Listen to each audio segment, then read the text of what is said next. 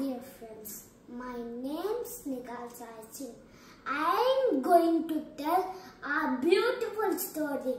Title of the story, The Ugly Tree. Written by Madbury. Once upon a time, there was a large forest. There are different type of trees. Oak, teak, banyan, mango and a Among them, there was one tree which had trunk. It looked very ugly compared to other teeth. Other teeth used to tease it. Chuck it. Oh no, wanna chuck the ugly tree. The poor tree was very sad and thought, Oh God, why did make me so very ugly? Why I'm not beautiful like other trees?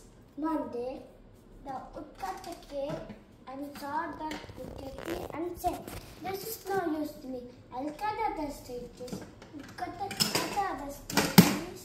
Seeing this, the, uh, the tree said, Thank God, my life saved me. Moral of the story, we should not blame God for our trouble. It, there is always reason behind his actions. Thank you, my friends.